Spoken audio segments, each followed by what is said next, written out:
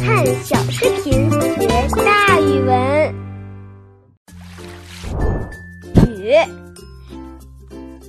雨由言字旁和无构成。左边的言字旁表示说话，右边的无上面部分是五，表示天地相交。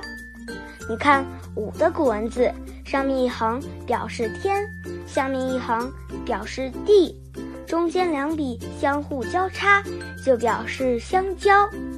如五花肉就是肥瘦相间的肉。在“五”的下面加上口，“五”就表示众人一起讨论，你一言我一语的样子。可见“语”强调的是语言的普及性。